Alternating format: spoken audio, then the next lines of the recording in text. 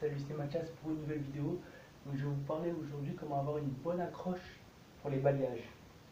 C'est un exercice de judo qu'on utilise pour bien arriver à saisir le kimono comme on dit kakete, une bonne saisie. Donc c'est très simple. Ici vous voyez qu'on a les poignets. Ici hein, on a les poignets. Et pour venir renforcer ces poignets là, c'est comme si on venait soulever quelque chose. Comme si on faisait de la moto. Donc c'est un exercice qu'on fait ici qu'on peut faire relâcher et qu'on vient venir ici contracter en même temps les doigts et venir renforcer les poignets. Donc on va le faire 10 fois.